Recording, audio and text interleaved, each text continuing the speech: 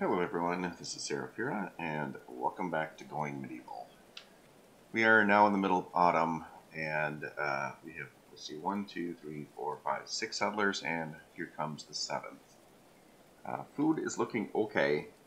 Uh, I think it should be fine through the winter, uh, but we've got plenty of more crops uh, that will be coming in soon as well. So, uh, Giles is apparently willing to join us. He's a prisoner.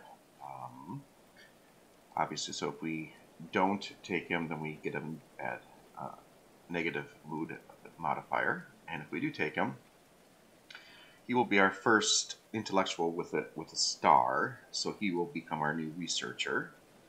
Um, I think Tonald is also doing research.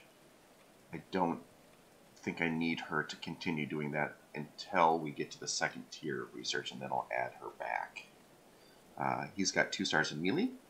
Uh, he's got two stars in speechcraft and one star in tailoring. Uh, Gerard was the last settler we just got. He also has one star in tailoring. So he's going to become our researcher and definitely a melee person. So uh, we also will get two archers attacking us plus uh, five other melee type bandits. So we're going to help him.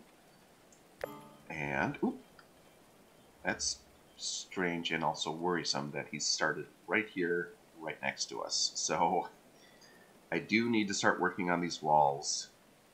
Uh, let's actually hit pause for, well, we've got 19 hours. So here's what the settlement now looks like. I've got two different prayer areas. Uh, I've added a tailoring bench, sewing station. I'm trying to add a workbench. So I've destroyed or recycled all of my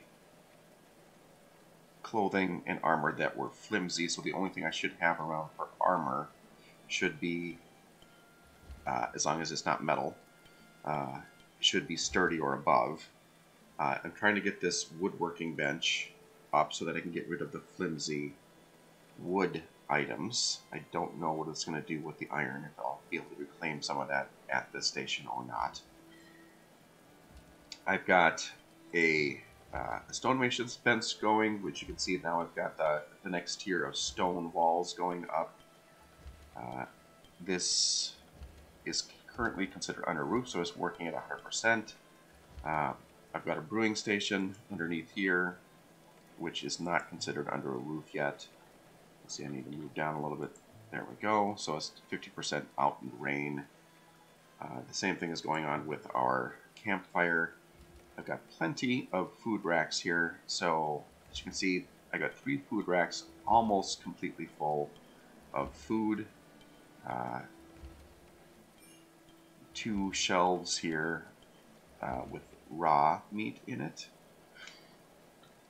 And I finished underground here, this area where uh, they'd come down the stairs here, go into this hallway, through this door, although they have lots of things to clean up in here, and then I'm going to build a, a lot more shelves. This is going to be where I'm going to start storing food. I don't think it's going to be as cold uh, as if I would move it down um, or even go under and even go further that way, but that it'll work for now. And the shelves actually help quite a bit uh, with food decomposing slash rotting.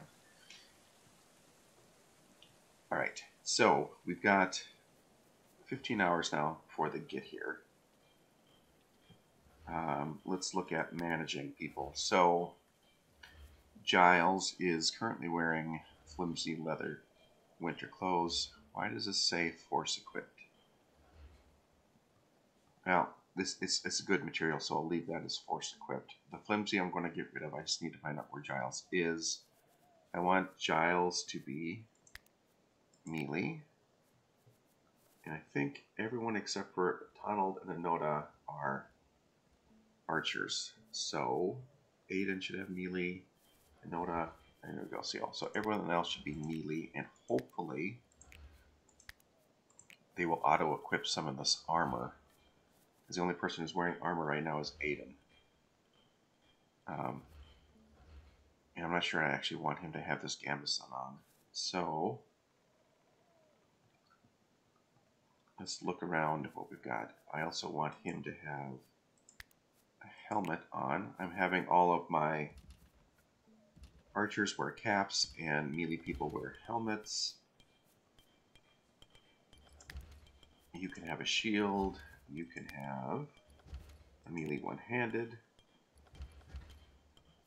I haven't set these to pick up sturdy or above yet. Uh, so just in case you didn't know, if you go to edit apparel, um, if they're on all apparel, you can change the slider here to only do sturdy and above. You can also do have at least so many hit points. Uh, be nice if I had if they had at least 10% hit points on them. I should probably go higher than that, but I don't know what our armor situation's like. Hopefully, with this all apparel, they will automatically pick pick up equipment. Like Tefani is not wearing any clothing right now, so that's not going to work in the winter. But I do have people working on producing winter winter clothes. Um, let's now go to scheduling because he needs, oops, leisure. And I think I want to make him similar to, to this group.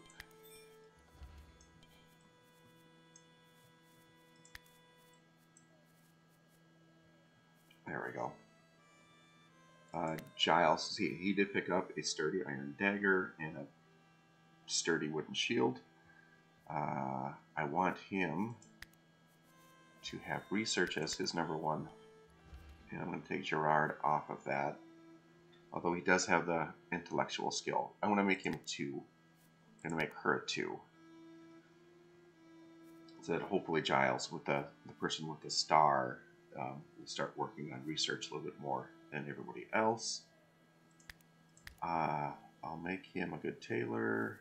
I think that's all he's got for stars. So let's make everything else ones that they should be so that he's doing all the other uh, basic stuff around the, the encampment. Now take a look at the gatehouse here. So it's it's it's not complete, but it'll it'll work for the next few fights. At least I hope it will.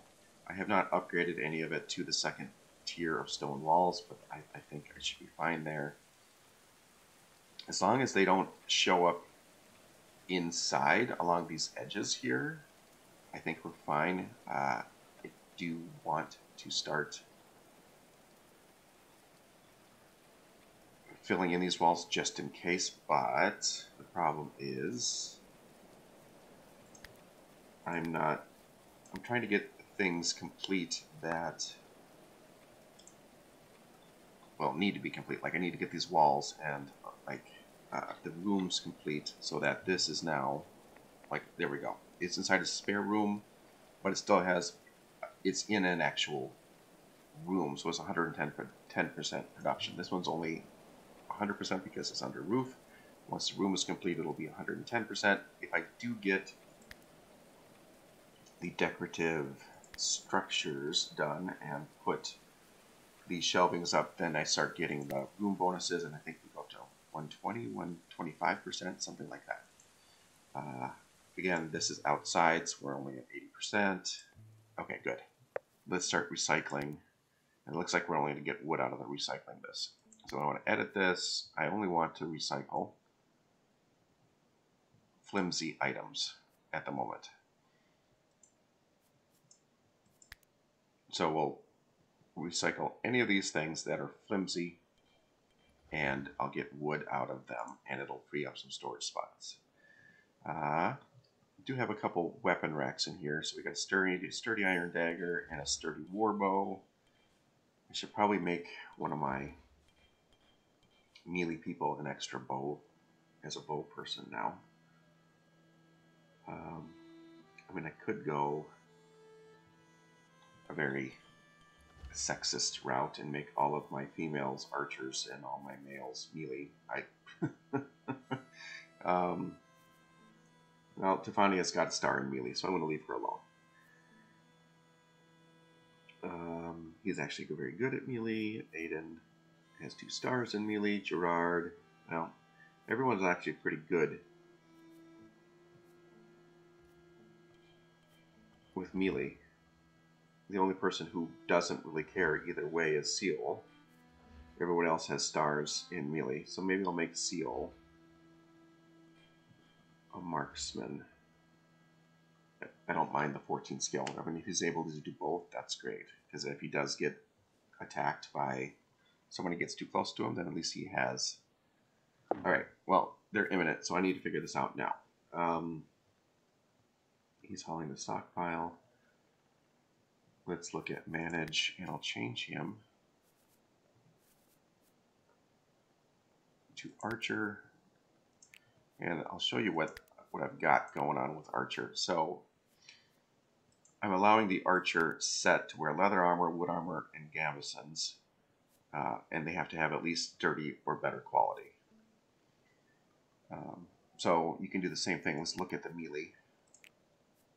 So the only thing I did with that was I removed the leather and the wood from from melee, and uh, they can equip anything else. So we don't have a whole lot of options because I want everything to be sturdy or above. Because I want to be able to uh, recycle all the other equipment to make better stuff. So hopefully good or better product. Okay, so now everyone's got at least sturdy equipment on, except for uh, Good Giles who just got here. So I still need to make some winter clothes. I don't want to take this off this close to winter. Um, if I do see that we do produce another winter clothes, I'll put it on. Let's let's start this up. I I want Seal to actually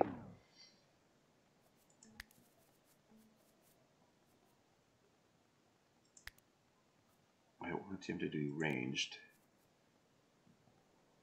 and no shields.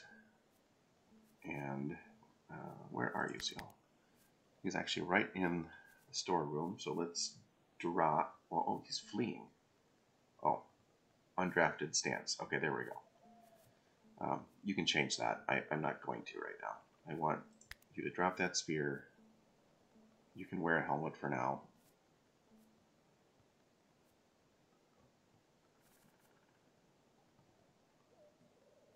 There we go. Let's see if he goes in a big... Alright, they're here. Uh, let's just see. It looks like... Oh, we might have gotten an extra bandit showing up. So we're going to refuse. They should be here. Let's make sure they're not right on top of us.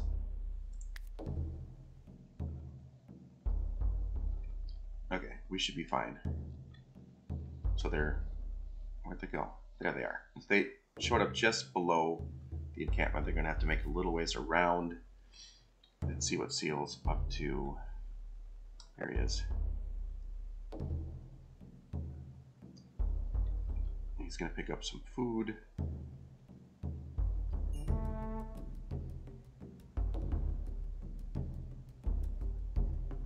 They haven't figured out what they're doing yet is Seal doing? Still taking things into the stockpile. Okay, and people are starting to work underneath in my food storage area.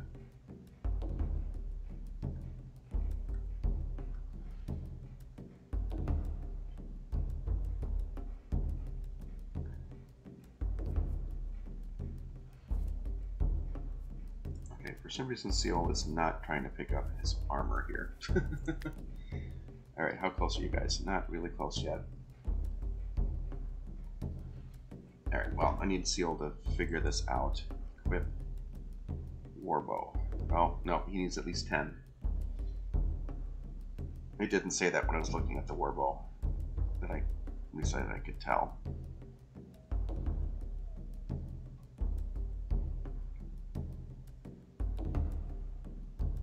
Think I have any other bows, but let's, let's double check in here.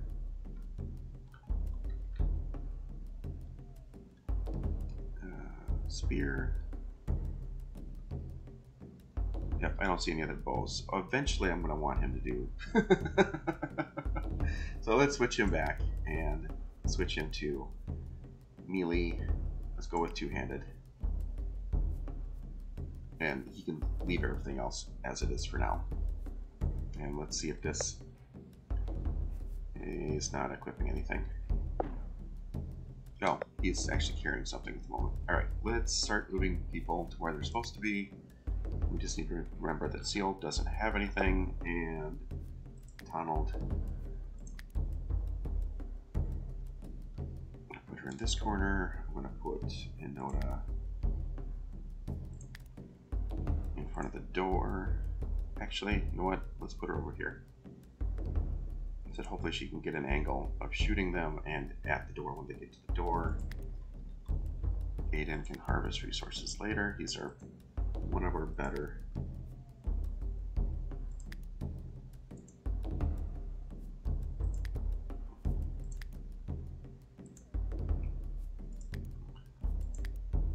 Okay, so that's six. If I just haven't figured out seal yet.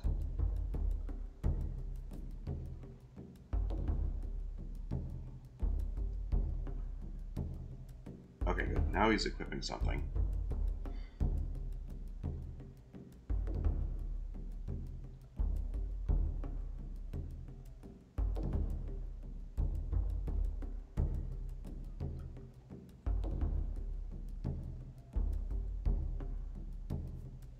And of course he picked up a flimsy one, but whatever.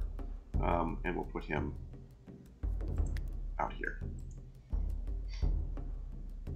So we got plenty of melee wants to do break through the doors because they're going to break through the doors. Uh, where are they at? Okay. Let's speed it up a little bit.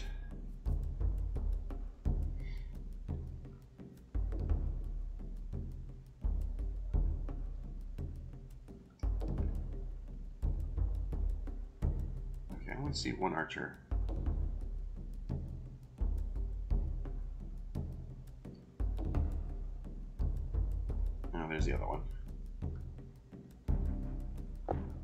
So is she shooting? She's not yet. Let's just put this on regular.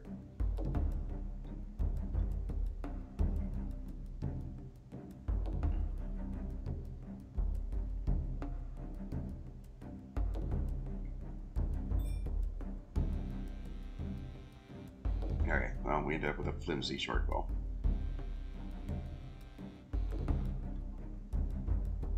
Alright, we already have two people on the doors.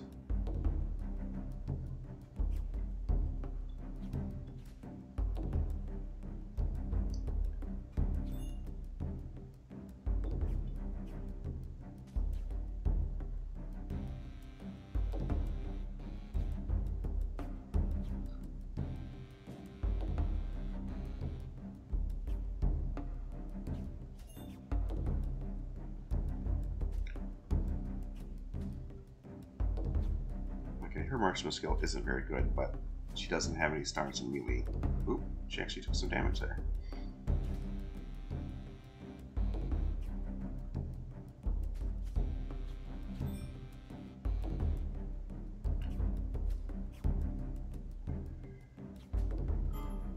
Alright, so Idrik is almost gone. Uh, I really want those archers dead before anything else happens.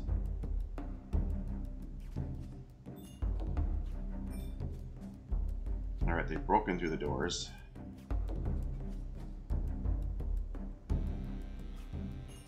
Alright, good. The archer's dead. We've got another flimsy warbow. There we go.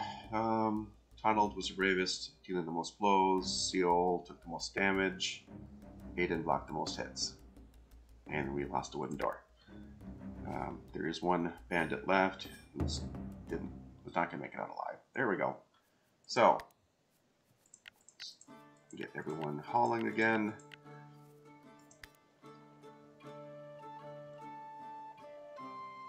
I probably need to make a couple different pyres because I think I have them right along where I think this wall needs to be, just in case they do spawn along this edge.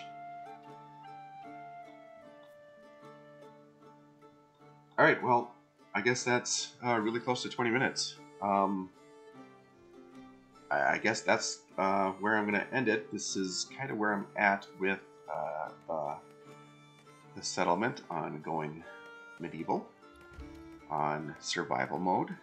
Uh, we seem to be doing just fine. I will continue working on this, and I guess I'll see you guys uh, when the next attack hits. Uh, and as always, really thank you so much for watching. I really do appreciate it. Hope you guys are enjoying the series, and I will talk to you all next time. Alright, everyone. I'll see you later.